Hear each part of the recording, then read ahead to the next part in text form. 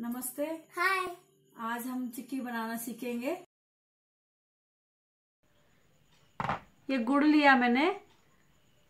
एक कटोरी गुड़ है और एक कटोरी मूंगफली है। सेम नाप के लिया हुआ है। दोनों बराबर होना चाहिए और ये दो चम्मच घी डालूँगी। और ये गुड़ के मैंने छोटे छोटे टुकड़े कर दिए और मूंगफली भून के रखी हुई है। छिलके निकाले हुए हैं। तो इस बनाना स्टार्ट करते हैं। मैंने गैस ऑन कर लिया है। और मैं इसमें गुड़ डाल रही हूँ।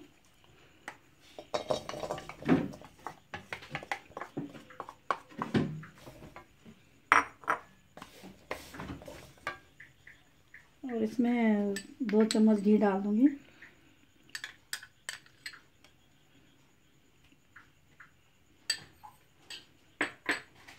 और इसको धीरे धीरे गैस को मैंने मीडियम में रखा हुआ है। और इसको ऐसे गलाऊँगी गुड़ को।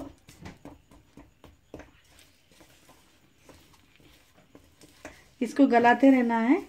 जब तक ये अच्छे से चाशनी बन जाएगी इसकी, तब तक इसको गलाते रहना है। ये चाशनी इसकी रेडी हो गई है। तो मैं थोड़ा इसमें चेक करने के लिए डालूँगी पानी में। तो ये ऐसा हो गया मतलब रेडी हो गया ये।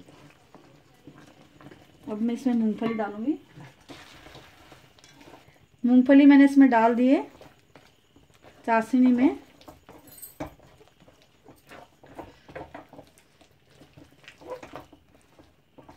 और एक ट्रे में मैं थोड़ा घी लगाऊँगी, जिसमें इसको जमाएँगे। ये ट्रे में मैं घी लगा रही हूँ, इसमें डालूँगी मैं चिक्की को। मैं इसमें डाल रही हूँ। ट्रे में।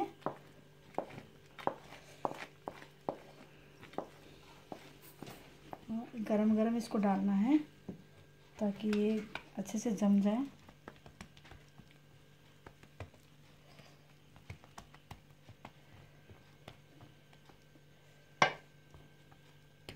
ठंडा हो जाएगा तो फिर इसको काटेंगे। थोड़ा ठंडा होने के बाद इसको काटेंगे।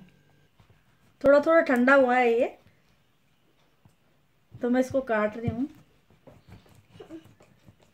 ज़्यादा ठंडे में नहीं कटता ये। चिक्की रेडी हो गई है। ये मैंने काट ली है चिक्की और ये ऐसी हुई है। ये खाने में भी अच्छी टेस्टी है।